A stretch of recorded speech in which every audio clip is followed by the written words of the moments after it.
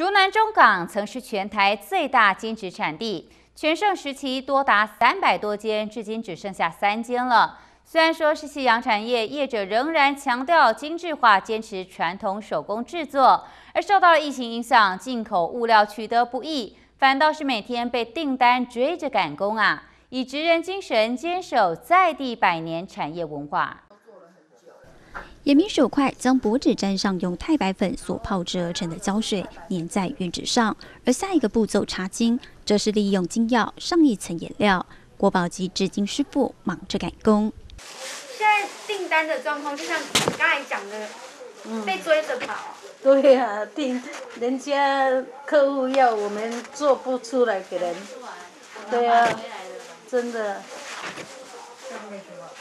竹南镇中港地区超过百年历史的金云织产业，全盛时期高达有三百八十多家，工厂都慢逐渐的，就是移到大陆或是东南亚去了，所以这边的手工这个加工业才慢慢的去收起来。不过到现在呢，也还是有少数还有在做这个手工加工的这个小型工厂在我们这个区域里面。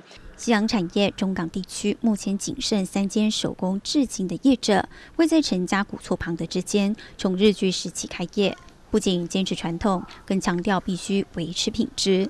原料多数采用进口，但受到疫情冲击，影响到运输，订单要消化，得每天赶货。我们进货会会被卡卡住哈。他现在缺货，主张也缺货。啊环保的问题哦，我说，像以前的锡箔中间哦不是那么大，像指甲这样。嗯。好。以前比较珍贵。嘿嘿嘿，我我比较完了简单啦。嗯。啊，慢慢的环保了一抬头，就想办法。手工精致打印着宗教民俗，更是文化印记。业者保有传统，以职人手艺传承下一代接受，坚守着竹南中港百年产业。